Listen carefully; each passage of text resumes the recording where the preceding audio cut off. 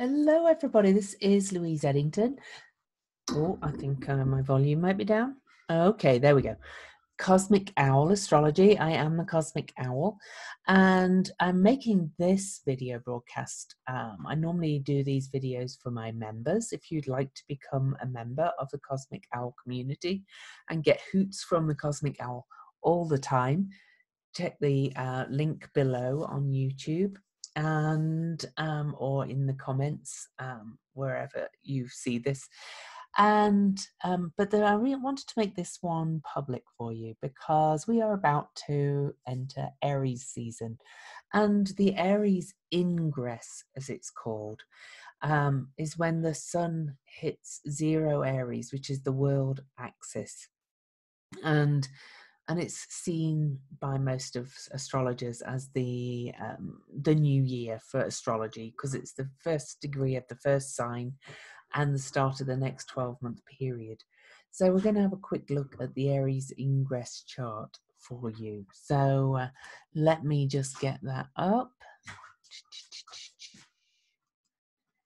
Okay, and now I will share.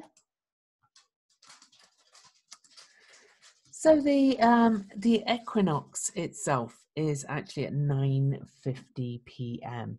The uh, sun actually moves into Aries, so I'm just going to uh, just adjust for that at 9:42 p.m.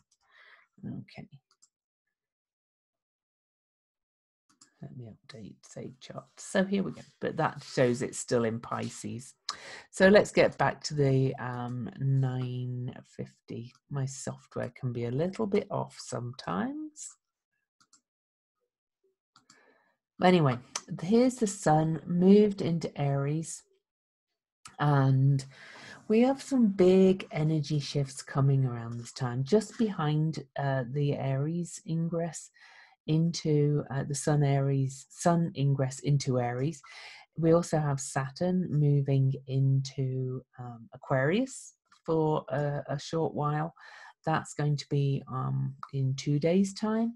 And we're also going to get Vesta moving into um, Gemini. So we've got a lot of energy shifts coming up, but this chart kind of sets the scene for the whole year. And we do have this out of sign, I'm going to call it, aspect between the Sun to Vesta and to Saturn over here. What we also have on the Aries ingress is we have Mars and Jupiter conjunct, and they are in sextile axis, aspect to Black Moon Lilith in Pisces and a square aspect to Eris. This to me indicates a lot of um, chaos and um, and discord over the next 12 months, I have to say. Um, we do also have um, Uranus at four degrees, still in aspect. Look at how close this is. Uranus is at four degrees and 32 minutes and is still in aspect to the lunar nodes at four degrees and 30 minutes. So only two minutes apart. And, and I kind of believe that triggered the earthquake we had in Utah yesterday. And uh, Uranus in Taurus, the financial markets too shaken up everything we thought safe really is being shaken up. This Mars Jupiter aspect for the whole year ahead, upsetting that is um, rapid breakdown, I think, of a lot of our institutions. And we're seeing it happen already.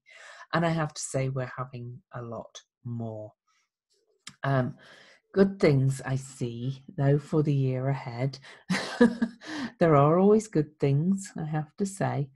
Let me just check I'm not missing any other aspects. I, I kind of like this Saturn um, Vesta trine in Earth signs, though. That's kind of real focus and building and commitment. It's like stay solid. Um, pulling your boundaries, which we're having to do anyway with social isolation, of course.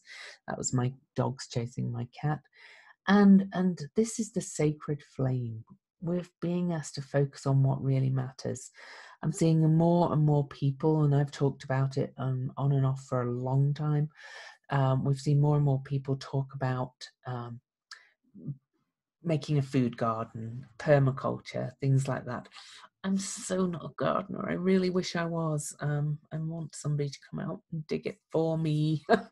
so I'm going to work on that. We also have Chiron. This is very interesting, I think, in the Aries ingress chart. Chiron is um, seven minutes from an exact sextile with Hygeia over here.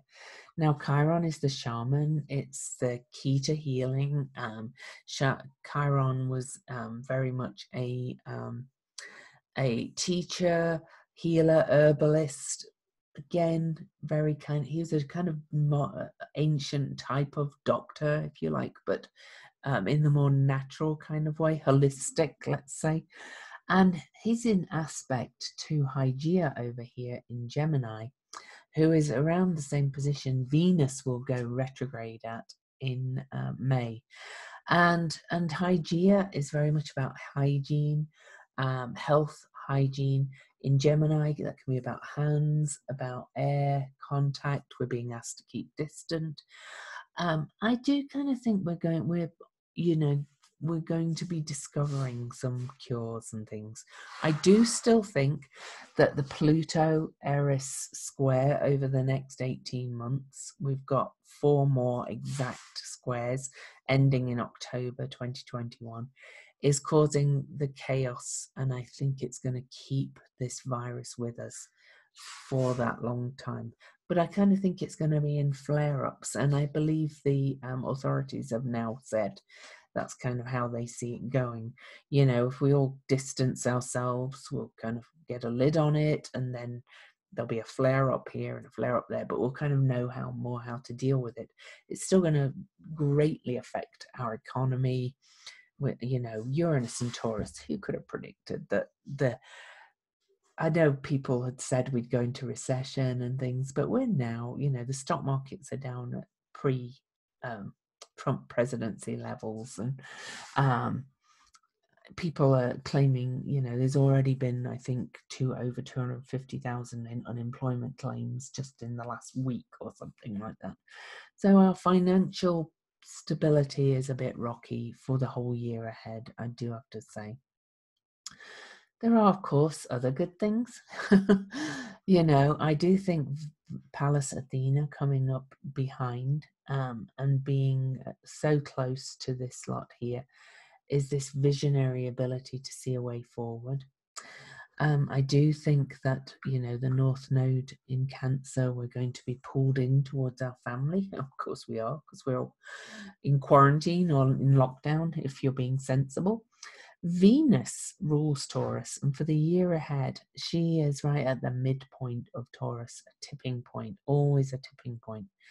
And and she is in an inconjunct aspect to Juno, the sacred marriage.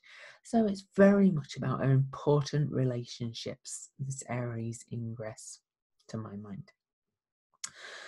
Um I think that's all I want to say for the Aries ingress chart.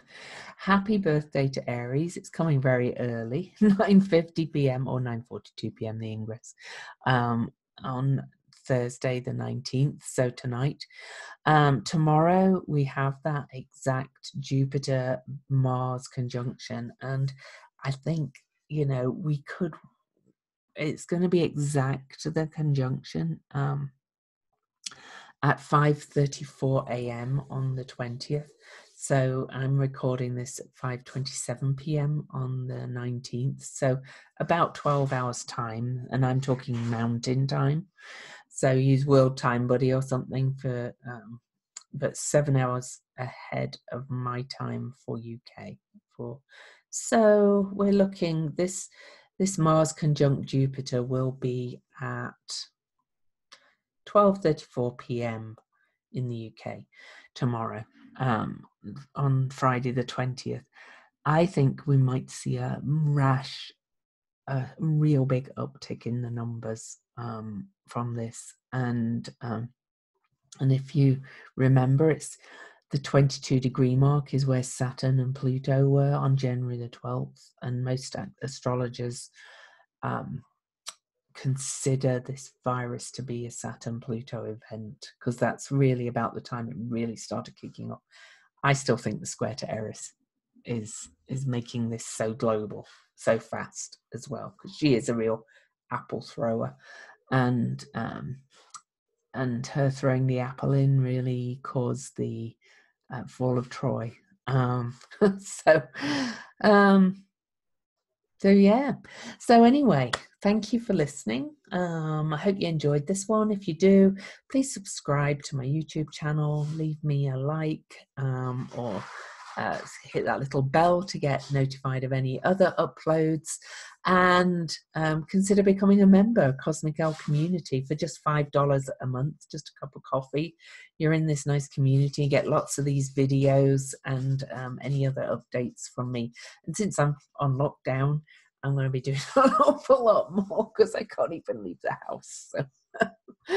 All right then, and that's because I flew back from Spain and uh, man- mandatory lockdown. So I haven't left the house. This is my third day at all because we're taking it very seriously, as you should too. Much love to you all.